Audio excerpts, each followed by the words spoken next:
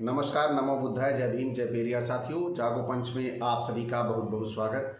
जागो पंच नित्य की भांति आपके लिए लेकर आता है एक बड़ा ही महत्वपूर्ण वीडियो, जो आपके अंधविश्वास और पाखंड को काफूर कर देगा। तो साथियों, इसी क्रम में आज हम लेके आए हैं आपके सामने बड़ा ही महत्वपूर्ण वीडियो, जिसका शीर्षक है सच्ची रामायण। तो इस सच्ची रामायण को लिखने वाले जो महापुरोधा थे, वो हमारे पेरियार ई वी रामास्वामी थे। उन्होंने ट्रू रामायणा के नाम से लिखी थी और इसका हिंदी अनुवाद पेरियार ललई सिंह यादव ने, यानी हमारे दो पेरियारों ने मिलकर हमारे समाज को जागृत करने के लिए बहुत बड़ा आंदोलन किया और समाज को जागृत करने के लिए पेरियार ये ललई सिंह यादव जी ने तो अपनी की पूरी की पूरी संपत्ति ही लगा दी, जो कि हमारे समाज के लिए एक बहुत बड़ा आदर्श है। तो साथियों, इस पुस्तक का हम लोगों को लाभ लेना चाहिए। इस पुस्तक को उन्होंने बहुत अध्ययन करने के बाद लिखा, दोनों पेरियारों ने। तो ये हमारे समाज के लिए एक माइलस्टोन साबित हो सकती है, मील का पत्थर साबित हो सकती है अंधविश्वास और पाखंड भगाने के लिए। तो साथियों, आइए चलते हैं पुस्तक के उन अंशों पर, जहाँ पर हमें ये ज्ञात होता है कि हमारे बीच में ग्रंथों, अलौकिक पुस्तकों ने किस प्रकार अंधविश्वास और पाखंड परोसा है उस पर एक सरसरी निगाह डालते हैं। और दूसरी बात, आज जो सबसे बड़ा पात्र है वह, जो यूँ कहें कि हम, जिसकी वजह से ही पूरी की पूरी रामायण रची गई, आज हम उस पात्र की चर्चा कर रहे हैं। यानी जहाँ से उद्गम हुआ था तो सबसे पहले हम चलते हैं उद्गम स्थल पर। तो उद्गम स्थल क्या है? दशरथ, यानी वाल्मीकि का जो पात्र है दशरथ, उसकी जो कथा है, वह आज मैं आपके सामने लेके आया हूँ सच्ची रामायण के अनुसार। तो साथियों, आइए चलते हैं समय न गवाते हुए पुस्तक की ओर। पुस्तक क्या कह रही है? यज्ञ के पश्चात हमें दशरथ के द्वारा राम राज्याभिषेक की तैयारी की ओर दृष्टि डालनी होगी। इन संबंधित अध्याय में राजा दशरथ की स्त्रियों, पुत्रों, मंत्रियों और गुरुओं को धर्माचरण संबंधी नीचता का वर्णन किया गया है। साथियों, शुरुआत में ही दिखाया गया है कि क्या नीचता थी, क्या उनके व्यवहार थे, यह स्पष्ट है। तो साथियों, देखते हैं क्या आगे नंबर एक, कैकई से ब्याह करने के पहले दशरथ ने उससे प्रतिज्ञा की कि उससे उत्पन्न पुत्र को अयोध्या की राजगद्दी दी जाएगी। कुछ कथाओं में वर्णन किया गया है कि ब्याह के समय दशरथ ने अपना राज्य कैकई को सौंप दिया था और दशरथ उसका प्रतिनिधि मात्र होकर शासन करता था। डॉक्टर नंबर दो, डॉक्टर सोम सुद्रा वेरी वेरी वेरेथियर एम ए बी एल की अपनी पुस्तक कैकई की शुद्धता और दशरथ की नीचता में मौलिक कथा का की कलई खोली गई है। राजा दशरथ के अनुक्त प्रभाव से राम और उसकी माँ कौशल्या अनभिज्ञ थी। वृद्ध राजा ने राम को प्रकट रूप से बता दिया था कि राम राज्य तिलकोत्सव के समय कैकई के पुत्र भरत का अपने नाना के घर चला जाना शुभ संकेत है। दशरथ ने भारत को उसके राज्याधिकार से च्युत रखने की निष्ठापूर्ण उद्देश्य से उसे उसके नाना के यहाँ दस वर्ष तक रखा। अयोध्या कांड चौ, अध्याय चौदह, देखिए यहाँ पर साक्ष्यों का बहुत ही, साक्ष्यों का बहुत ही ध्यान रखा गया है। तो आप इस चीज़ को गौर करिएगा कि लोग बोलते हैं कि पेरियार जी ने गलत लिखा है।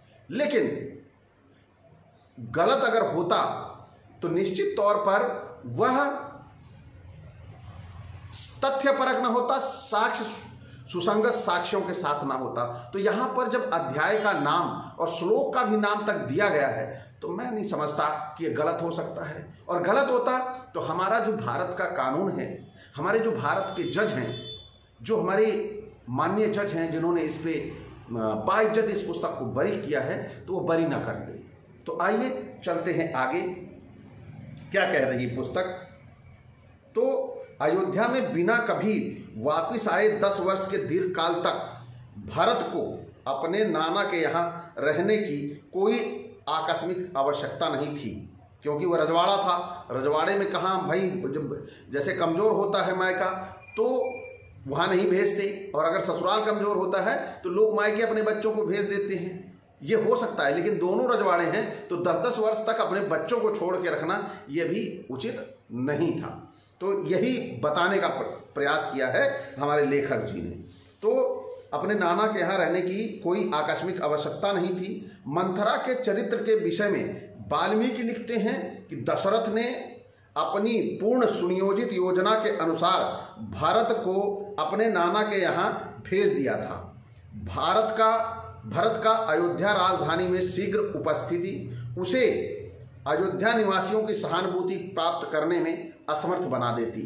दशरथ की यह भी धारणा थी कि भारत को, यानी जब ठीक राज्याभिषेक के समय पर उसके नाना के यहाँ पठवा देने से मुझे दशरथ की लोगों से शत्रुता बढ़ जाएगी। यानी कि अगर उस समय भेजते कि जब वो राज्यभिषेक करते तो वहाँ के लोगों से शत्रुता बढ़ जाती कि नहीं, ये बहुत गलत कर रहा है। तो शातिर मतलब पहले से तैयारी कर रखी थी कि राम का राज्यभिषेक करना है और उसे विदा कर दो। तो यह मंशा थी, तभी ऐसा किया गया था। तो आइए और देखते हैं क्या लिख रहे हैं। एक दिन पूर्व ही दशरथ ने अगले दिन राम राज्यभिषेक की झूठी घोषणा कर दी। यद्यपि मंत्री, वशिष्ठ व अन्य गुरुजन भली भांति और स्पष्टता जानते थे कि भरत राजगद्दी का उत्तराधिकारी है, यानी कि वहाँ पे जितने थे सभी जानते थे। और यहाँ पर तो वो तो भी चतुर धूर्त व ठग लोग राम को गद्दी देने की मिथ्या हामी भर रहे थे। सभी जानते थे, लेकिन वो कह रहे थे, जब वचन दिया था तो भरत से धोखा क्यों हो रहा था? यही स्पष्ट है यहाँ पर। और वहाँ पे जो मंत्रीगण थे, जो जिसे बोलते हैं राज्य पुरोहित, राज्य गुरु जिसको बोलते हैं, वह तक इस षड्यंत्र में शामिल थे। ये इसे ठग या धूर्त कहना गलत नहीं है, क्योंकि अगर आपने वचन दिया है और वचन का पालन नहीं कर रहे हैं तो यह भी कहा गया है, रघुकुल रीत सदा चली आई, प्राण जाए पर वचन न जाई। लेकिन यह वही रघुकुल की रीत यहाँ पर आप सभी को स्पष्ट हो रही होगी। वो जो उन्होंने वचन दिया था, कैकई को, एक आपके बेटे को मैं राज्य का उत्तराधिकारी बनाऊँगा, उसे ही राजा बनाऊँगा, लेकिन वहाँ उसको भेज देना और जितने भी वहाँ प्रजा थी, जितना पूरा शासन व्यवस्था थी, मंत्रीगण थे, सभी जानते थे कि भरत ही असली उत्तराधिकारी है और उसे भेज दिया गया। उसके बाद ये सभी लोग तैयार थे। तो इसका ये रघुकुल रीत थी या ये दोगलापन था, यही स्पष्ट किया है लेखक ने। तो राम को दिखाया है वचनबद्धता और दशरथ को दिखाया है फिसलते हुए। तो क्या यही रघुकुल रीत है? यही स्पष्ट करना चाहते हैं लेखक, वह मैं आपको स्पष्ट सामने दे रहा हूँ। उदाहरण के साथ, क्योंकि उदाहरण बहुत ज़रूरी है, जब तक लोग कहते हैं ना, प्राण जाए पर वचन न जाए तो यहाँ वचन जा रहा है और रघुकुल डायलॉग वाला रघुकुल रीत वाला डायलॉग भी चलेगा। समाज में चलेगा। लेकिन यहाँ सबको बताने की ज़रूरत है हमारे समाज में कि वो रघुकुल रीत केवल डायलॉग बनाया गया है, उसका धरातल पे कोई अस्तित्व नहीं है। तो आइए चलते हैं। आगे। राम की माता कौशल्या भी अपने देवी देवता को मनाया करती थी कि मेरे पुत्र राम को राजगद्दी मिले। देखिए, यहाँ पर रघुकुल रीत से किसी को मतलब नहीं था। कोई मतलब नहीं था। केवल केवल एन केन प्रकरण राम को कुर्सी में बैठाना था। पुरोहितों और पंडितों को सूचना तथा उनके परामर्श के बिना और कैकई जनक, भरत एवं शत्रुघ्न आदि को बिना आमंत्रित किए, दशरथ ने राज तिलक का प्रबंध कर दिया अयोध्या कांड प्रथम अध्याय।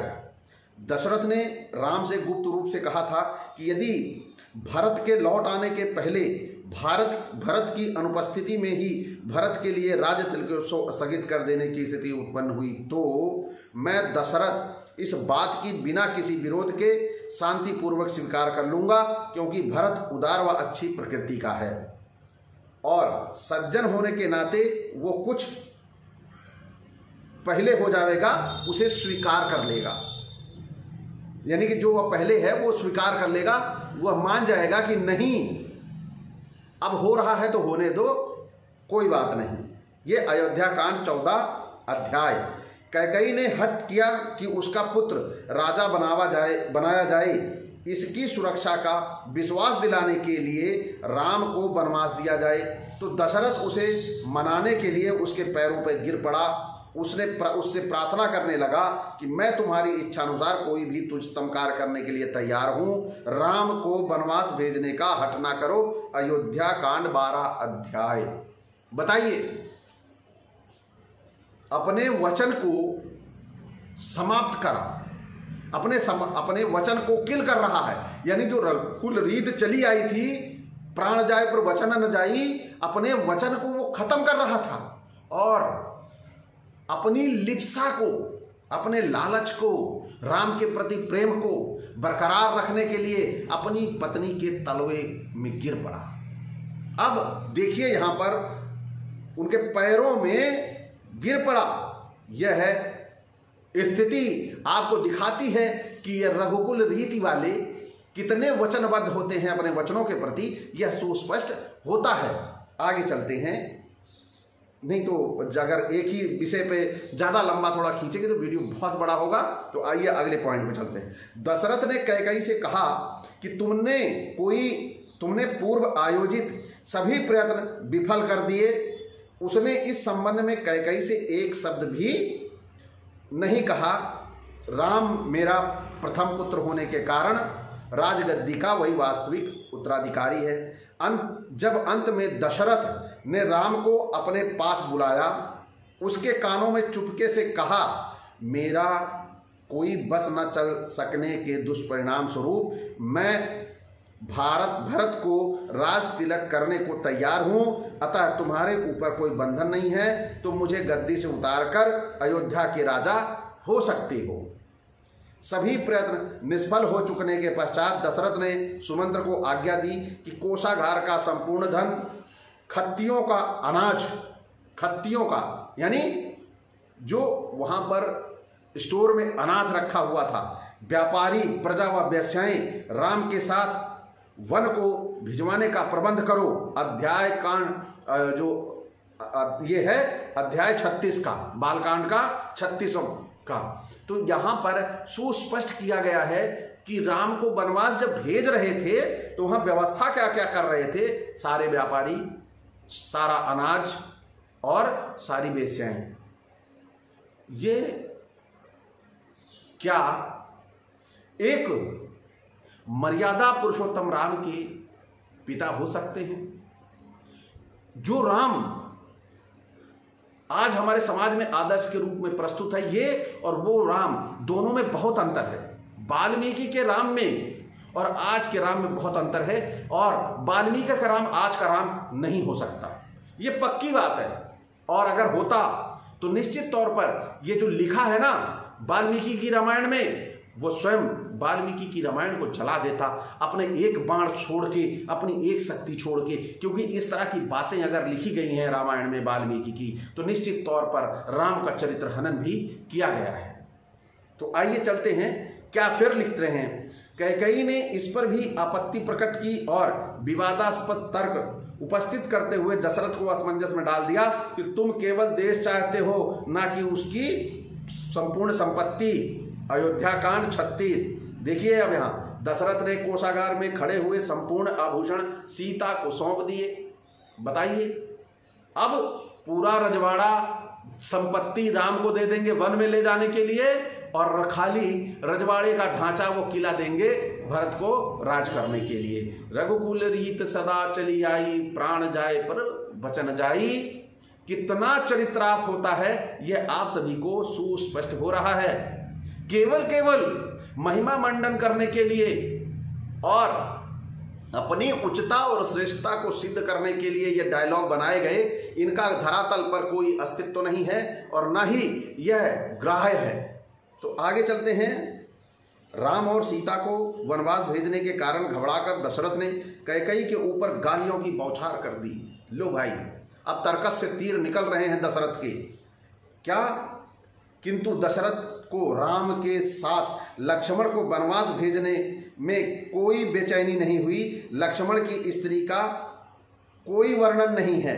स्वर्गीय श्री सी आर श्रीनिवास अयंगर ने सन 1925 ईस्वी में प्रकाशित वाल्मीकि रामायण का जो संस्कृत, वाल्मीकि रामायण का जो संस्कृत में से तमिल भाषा में अनुवाद अयोध्या कांड पर टिप्पणी नामक पुस्तक के द्वितीय एडिशन में लिखा है कि दशरथ स्वात्मघाती था। दशरथ कौन था? स्वात्मघाती। दशरथ ने सुमित्रा और कैकई के कार्यों पर हस्ताक्षर कर दिए थे। लेखक ने दशरथ पर 20 दोषारोपण किए हैं। यानी जो लेखक है, उसने दशरथ पर 20 दोषारोपण किए हैं और मैं यही 20 दोषारोपण खत्म करके यह वीडियो खत्म करूँगा। पहला, दशरथ ने बिना विचार किए कैकई को दो वरदान देने की भूल की। कैकई के विवाह करने के पूर्व दशरथ ने अपने से उत, उससे उत्पन्न पुत्र को राजगद्दी देने की भूल की। साठ वर्ष का दीर्घ समय व्यतीत कर चुकने के पश्चात भी अपने पशुवत विचारों का दास बने रहने के दुष्परिणाम स्वरूप अपनी प्रथम स्त्री कौशल्या तथा द्वितीय स्त्री सुमित्रा के साथ वह व्यवहार न कर सका जिसकी वह अधिकारणी थी। अब आप यहाँ पे गौर करिएगा क्योंकि वीडियो लंबा ना हो इसलिए केवल केवल मैं पुस्तक के मूल अंशों को आप तक पहुँचा रहा हूँ। कैकई के दिए गए मूर्खतापूर्ण वचनों से उसने कैकई को खुशामद कराई। अपनी प्रज्ञा के समक्ष राम को प्रज्ञा या प्रज्ञा नहीं यहाँ थोड़ा मिस्टेक है यह अपनी प्रजा के समक्ष राम को राज तिलक करने की घोषणा कैकई व उसके पित, उसको पिता को दिए गए वचनों का उल्लंघन है। कैकई की स्वेच्छानुसार उसे दिए गए वरदानों के फलस्वरूप राम को गद्दी देने की अपनी पूर्ण घोषणा से वह निराश हो गया। इन पापों ने दशरथ द्वारा भरत को राजगद्दी देने के असंभव वचनों को निरस्त कर दिया। वशिष्ठ ने परामर्श दिया कि इक्ष्वाकु वंशीय परंपरा अनुसार परिवार के ज्येष्ठ पुत्र को राजगद्दी मिलनी चाहिए, किंतु कैकई के प्रेम में पागल दशरथ ने उस परामर्श को लात की ठोकर मारकर अलग कर दिया। दशरथ को अपनी मूर्खता का प्रयासित करना तथा कुछ मूल्य चुकाना चाहिए था, किंतु उल्टे उसने कैकई को श्राप दे दिया। वह भूल गया कि मैं कौन हूँ, क्या हूँ, तथा मेरी स्थिति क्या है, और कैकऊ, कैकई के पैरों में गिर पड़ा। यानी अपने वचन को, जो रघुकुल रीत का वचन था, उसे किल करने के लिए, खत्म करने के लिए, वह कैकई के पैरों में गिर पड़ा। यानी अपनी पूरी आन मान मर्यादा, केवल एक लोभ के कारण वो खत्म कर बैठा। तो आगे चलते हैं। सुमंत्र और वशिष्ठ जो दशरथ के वचनों से अवगत थे, कैकई के प्रति किए गए वचनों की ओर संकेत कर सकते थे, दशरथ को सचेत कर सकते थे, राम को राजगद्दी न देने का परामर्श दे सकते थे, किंतु उन्होंने ऐसा नहीं किया। वशिष्ठ ने, जो कि भविष्य वक्ता थे, राम राज तिलगोसों के शुभ अवसर को शीघ्रता से निश्चय कर दिया, यद्यपि वह भली भांति जानता था कि यह योजना निष्फल हो जाएगी। कैकई अपना न्याय संगत स्वत्व एवं अधिकार मांगती थी, किंतु सिद्धार्थ सुमंत्र व वशिष्ठ उसे विपित, विपरीत परामर्श देने उसके पास दौड़ गए। इस पर निष्फल प्रयास, निष्फल होने पर उन्होंने उसे फटकारा। तो आप सभी यह समझ सकते हैं कि किस प्रकार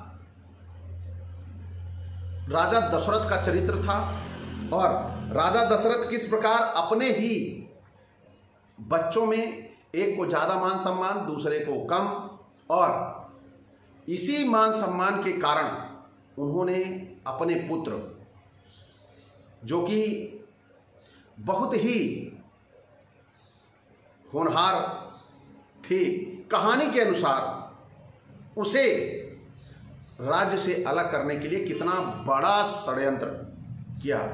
यह आप सभी के सामने है। और जिसे हम कहते हैं कि रघुकुल रीत सदा चली आई, प्राण जाए पर वचन न जाई। यहाँ पर उनका वचन चला गया और वचन जाने के बाद वह उसे त्याग कर अपने वचन को कह कई के पर चरणों में गिरकर याचना कर रहे थे और यही याचना क्या सिद्ध करती है? यह अलौकिक पुस्तक है यह अलौकिक चीज़ें हैं। यही आप सभी को बताने के लिए, सुनाने के लिए हमारे इन पेरियारों ने मेहनत की कि किस तरह आपको गुमराह किया गया है।